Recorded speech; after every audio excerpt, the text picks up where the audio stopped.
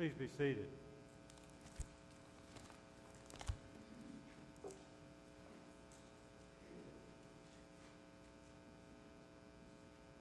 I've never really shied away from telling you the secrets of, uh, of the trade, those things that uh, we as preachers don't often tell.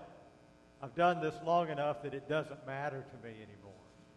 Uh, I've told you about various things that we do or don't do, like or don't like, and I think I've conveyed to you that we often have favorite Bible scriptures that we like to use. We like to use them in part because they may support our theology as we see it, and we all have a little different theology. Uh, we may do that because it's uh, a familiar text. Maybe we learned it as a child or, or whatever. It has some special significance. The other side of that is that there are those texts in the Scriptures that uh, we, we don't like. And some of us don't like some of them, but a lot of us, there's, there's some of them that a lot of us don't like. We don't like the one today.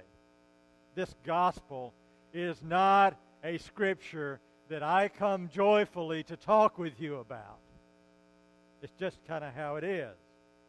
And that may seem a, a, bit strange because as you begin to read this scripture, it's a uh, why would anyone not want to talk about it? Jesus and the guys have been out and about, and as they're in a foreign country for them, a Gentile territory, a Gentile woman comes up to Jesus, and she comes running after him and says, My daughter has a demon and I want you to get rid of it. I have to tell you, it doesn't happen every day, but occasionally this does happen to clergy. That someone runs after us and asks us to cast out a demon. But anyway, this happened with Jesus that day. And what does Jesus do? He ignores her. Now, that to me is, is a tiny bit offensive. Why would Jesus just simply ignore this woman? But I can kind of live with that. And then we get to the next part of the story, and the disciples tell him they've been chasing after us. She's been chasing after us to get rid of her. And so she comes back to Jesus again. And she says, Will you heal my daughter? And Jesus said, because this was his theology. This is how he read it, how he saw it. I came only for the, for the Jews. And you're a Gentile. I, I'm not here to serve you. Go away. No, no offense. Just go away. Now, I find that a little more offensive. But she's not to be deterred. She, she has a deep need. And she comes back to Jesus. And this time Jesus says, Why would I give the food that belongs to children to a dog?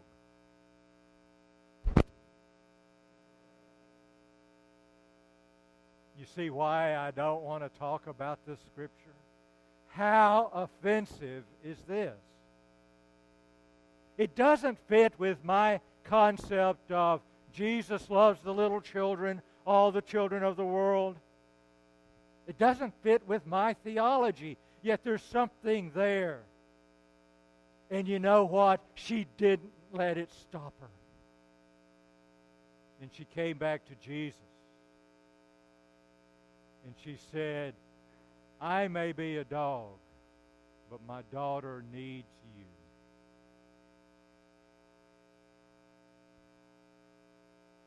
And Jesus looked at her and said, It's done. Your child is healed. What a story. What a story. And as I read it this week and, and thought, what in the world am I going to do with this thing again? I became aware. I became aware that, that there were a couple of elements that were very, very important in this story for me this week. One was her persistence. She worried the bejeebies out of Jesus. She wouldn't let it go. And the reason she wouldn't let it go is because of the deep need of her soul. This wasn't something that she was simply asking for herself, something that she would like to have happen. Oh, by the way, Jesus, if you have enough time, this was her daughter who obviously meant everything to her. And she wasn't going to let that go. But the other part that I think that is important in this is this. Jesus got beyond hearing her words, and he heard her deepest need. He got beyond what she was saying to hear what she could not say. That, for us, my friends, is the core of pastoral relationships. It's what it means for us to be pastoral with each other.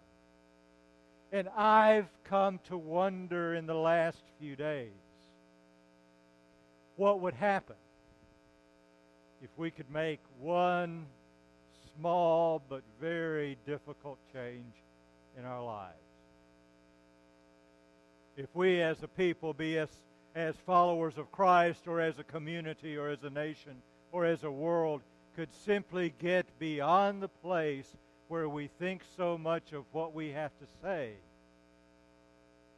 that we take enough time to listen to each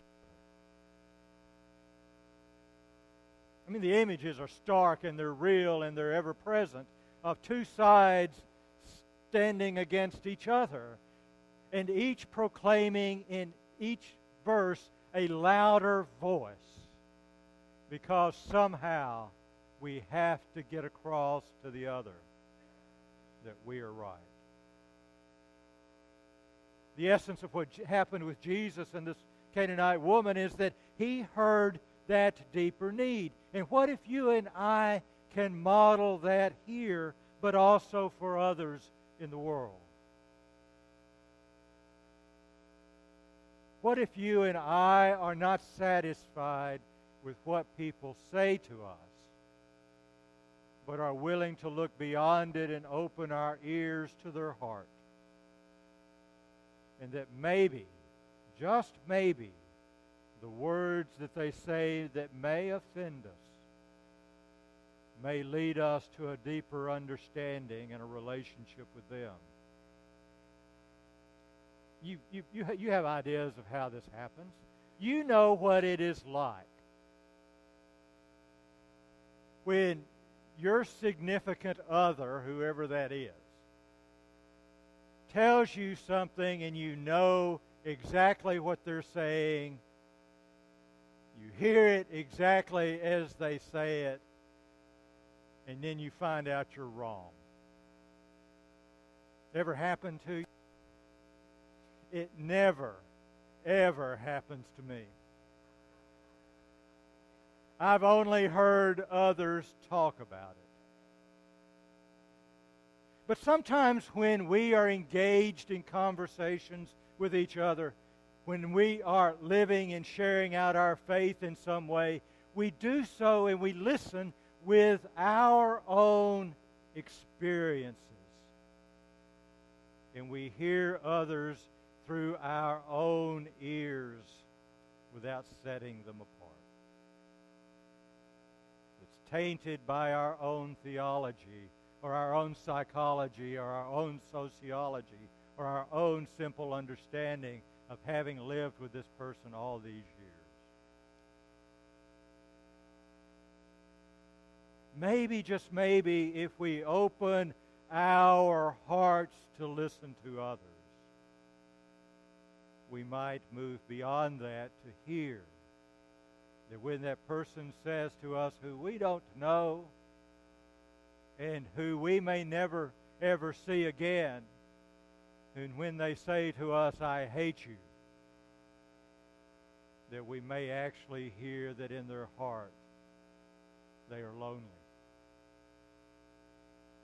Or when they say something else to us, that in their hearts they may be saying, There is no one else for me. Or they may be saying that in their heart, I have been hurt so deeply, I am afraid. We listen with our hearts to move closer to others and to God. That's part of what prayer is about. We, we have a whole book. It's in front of you there in some, some of the seats. A book of common prayers. A lot of words. Wonderful words, beautiful words.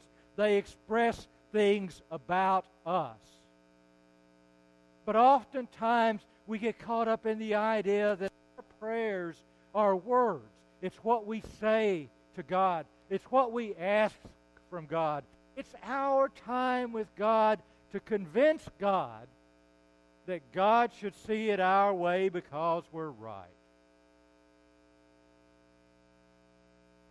When in reality, listening with our hearts to God may actually be the center of our prayer. It may be actually what draws us closer to God. For the Celtic Christians, they referred to this as listening to the heartbeat of God.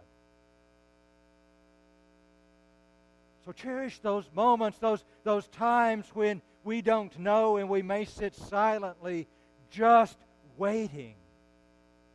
And not just listening with our ears, but opening ourselves to the presence of God in our lives. Look what happened to the Canaanite woman. She did that. It wasn't just her persistence. At every level, she opened herself a little more to the presence of Christ in her life. And what happened? She was transformed and her daughter was healed.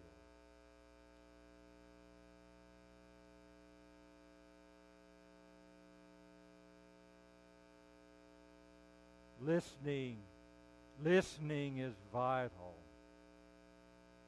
But hearing is so important to us in our lives. Our lives with each other and our lives in God.